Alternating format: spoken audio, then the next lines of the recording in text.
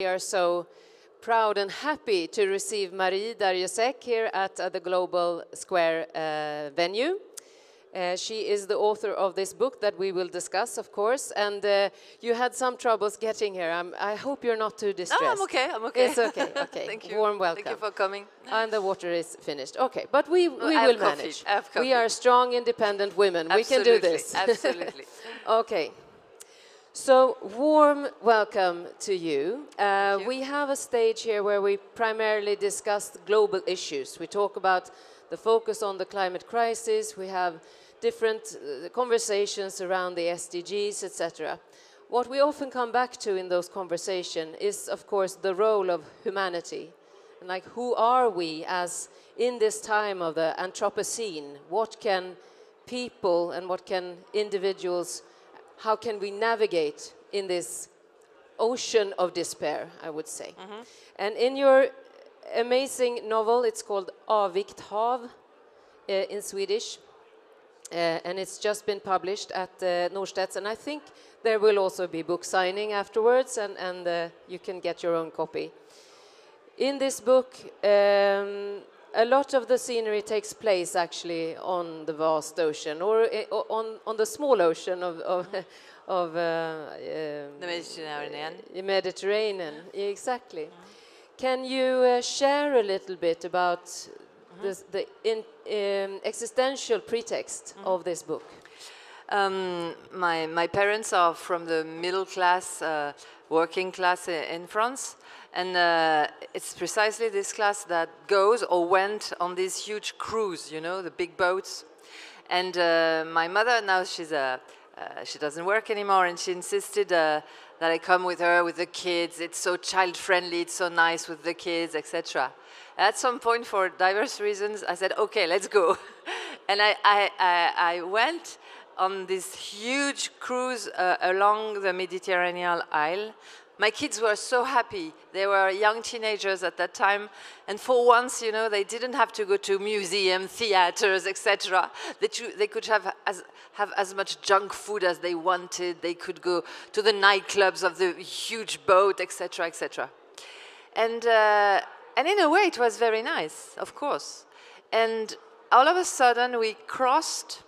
Uh, we were going down along the, along Italy toward Tunisia at that time, and uh, we were just crossing by Lampedusa. Lampedusa in. Uh, 2013 was the name of what was happening, was the name of the mass migration. What I don't want to call a crisis. Um, it's not a crisis. Mass migration is something that has always existed and that is going to happen more and more and more in between causes because of wars, but mostly because of climate change, I think. So, so Lampedusa, and I was on this crazy boat which was like the symbol of, um, of late capitalism, of what capitalism produces that is most absurd, and in a way, most equalitarian, because for European middle class, it's really fake luxury that can be affordable to anybody, to my parents, basically. So, and we were, you know, how it is on these boats. We were wasting so much food, so much gas, so much water, etc. And I, thought, what would happen if we if we went across these little boats full of migrants and refugees? And it was just, it's like that that novels are born, you know, on those very simple ideas. And after that, when I came back home, I checked on the internet and I saw that at that time, twice it happened that one of those big boats, a, a captain, a, a, a romantic perhaps captain, idealistic captain, stopped to take on board the refugees. Once it was 300 people coming on board with all these middle class Europe people going on a holiday.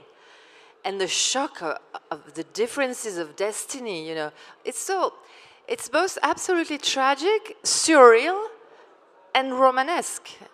And uh, the book started like that. And and also I was I wanted to imagine a character. Her name is Rose. Again, middle class woman in Paris, Her husband is in real estate agent. She's a psychologist, and they are precisely this class in Paris that they cannot they cannot afford Paris anymore. Paris has become too expensive, the rents, etc. And so uh, they are in their daily routine of trying to make ends meet, and uh, and they love Paris and they like their life. And the refugees are coming and coming and coming more and more in Paris, which is what I, what I witnessed and she doesn't want to she, she doesn't want to see it. She, she she's she feels very awkward with all this. She has her own problems and she's not a political head at all. She doesn't want to get involved even less committed. And so she tries to escape in a way the planet as it is. And uh, and it's it's the story of this woman who doesn't want to get committed. But in the end she she, al- she always has this choice. But she decides to be, she has this song in her head. We, I had that song in my head when I was writing the book, David Bowie. We can be heroes just for one day. We can be heroes just for one day. And she decides one day to be a hero, a little hero. She does this, she gives to a young refugee who who looks so much like her own son. They are 16, basically, these boys. One is blonde, one is black. They, they come from so different, different places. She has this impulse to give to the young refugee the telephone of her boy, of her teenage boy. And can you imagine? I have teenage children stealing their phone to give them to a refugee. And of course, the young boy, the teenage boy, so, uh, her son, is very much a political head. He wants to save everybody. He wants to save the planet, etc. Not with his phone, you know. so, so I hope the book is also. We we are in a very difficult situation on this planet, but it's not that tragic. There are also, and I, I of course I. I, I worked with some refugees at that time. I had some refugees home, and it's always more comic that it could appear. It's, um, it's difficult. It's really, we are all very tired of, of living on this planet in a way. But I hope, when I write, I always try to make the comic aspect the day to day aspects, the routine, you know. Uh, when you have a, a young refugee home, um, he's, first of all, he's a teenager he will not think about, um, you know, uh, washing the, the floor after his shower, you know, about taking out the water. That no, because he's just 15 or 16. 15 people don't do that. so, so, and she's a mother, and she's trying to cope with, with another teenage boy, and it's, it's that it's that simple and it's that complex in a way. It is truly a book about uh, heroism in a way, and it, it has many facets to it. Because as you're saying, you can you can feel Rose's sort of uh, reluctance. Yes, she's very she's reluctant. trying to cope by di being disconnected, and then in one, like a, some a moment, just a strike of of eternity hits her, and and she makes a choice. I was also uh, fascinated about the relationship between her and, and her husband and her, her family, of course, and the existential sort of journey that she's on uh, during this cruise and her husband in, in the translation i don't know exactly what it would be in english but he says something about her not her, her husband says that rose doesn't really take what she has in her hands she doesn't really grasp the moment and that's mm -hmm. it struck me so uh, like on a deep level because it's so interesting to, especially we are the same age. In this age, we start thinking about have I done the right, have I, have I grasped, have I captured life in a sense. So that kind of a critique or, or observation from someone who is so close to you is very, very tough to deal with. Mm -hmm. Could you share a little bit about that um, specific image? Um, when I write, I rely on um, on feelings and intuitions, and uh, much more than on um, uh, logical thinking, you know, and uh, and in politics too. I, I'm I'm not very good uh, in theory. I'm not very good at explaining the world. I, I'm better at trying to describe. Um, feelings. Let's let's put it that way. And and uh, she has something in the, in her hands. This woman. She has something that she has never developed in a in her career or even with her kids. Um, she she has. I'm very fascinated by um, in my homeland, Basque country, in the southwest of France. We have these people, and I'm sure you have them also in Sweden. These people that that take the fire off, as we say. When you when you are burnt, you, you can go to see, there are sorts of European marabout, and they take the fire out, and you don't have the burn anymore. Or, for example, you have a zona, and they carry you on their back, and the zona is gone. You are looking like me as if I was crazy, I know. But, but uh, what's the name in English? Des rebouteux. Healing. Yeah, healing people, heal, healers, healers, healers, witch, witches in a way.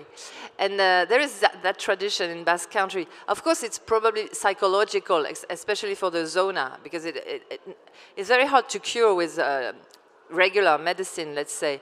But if you, if you really believe in what's going to happen in the healing process, it, it very often works.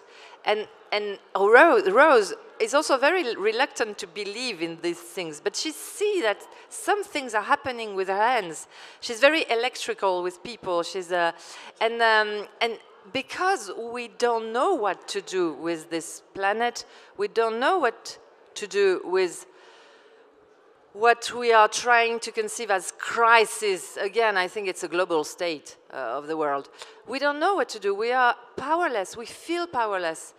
And her hands tell her something. In all of my novels, there is something about animals, about strange bodies, about ghosts sometimes.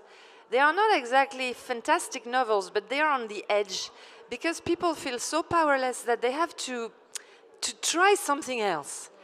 Magical thinking, also. So the book goes on the borders of magical thinking at, at some moments, yeah. And she knows that as a psychologist, I've, I've been a psychoanalyst myself, and you can do, in my part in, in, psychoanalysis, you are not even allowed to touch the people, just, you know, shaking hands. And with the COVID, you couldn't shake hands anymore, nothing. So, so but her, she, she treats children, and she allows herself to, to touch them, to feel them, to, and it does them good.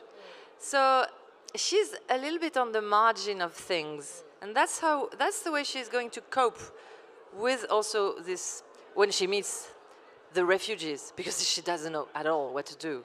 No, mm. maybe that's the ultimate symptom of capitalism and, and the sort of uh, state we are in of existential crisis, at least, mm. that we are so disconnected both from our body, bodies but also from our spiritual sort of grounding uh, yes. and, and, and that connectedness could also be the healing in a, in a societal way. I, I, when I write a novel, I always hope that you, the readers, will will do a part of the of the novel with me. I mean, I don't explain you too many things. I want you to to get your opinion on, on what's happening, and I, I also want you to think what would I, have done if I were Rose? You know, what, what would I have do, done? And um, I, my novels are very often a little bit ambiguous, so that you take place in them. And I don't like to explain too much. Mm. But there are many answers in here and also many questions. Uh, and we don't have much time left. I think we have two more minutes. So, what is your send off message to the readers? And, and now they can, of course, go and, and get the book. But what My, would you like to share? I think we can act uh, on a very uh, realistic ground level. Uh, for example, I um, this year I am well. I, um, we can all do a little bit of things. I, I, I give French lessons to some refugees in Paris, etc., which is extremely interesting for a writer. I mean, don't give if you're not going to be given in, in exchange. Don't think you can give without accepting something in exchange. Because if you, if you don't receive something in exchange, for me, um, uh, my curiosity, for example, I, I, we have a lot of Yemenites at the moment in, in, these classes. I love talking with them because they live in such a, another part of the world, the desert, etc. And, and to me, that's the gift I receive. It's extremely interesting. Don't do, be egoist. Be egoist when you give because it gives you more strength to give. So that's my only little idea. Thank you so much. Uh, that was really um, yeah, deep. it, it, it really hit me. Thank you so much for sharing and thank you for this amazing book and warm welcome to meet and greet with uh, Marie over there with the, with the books. Thank you.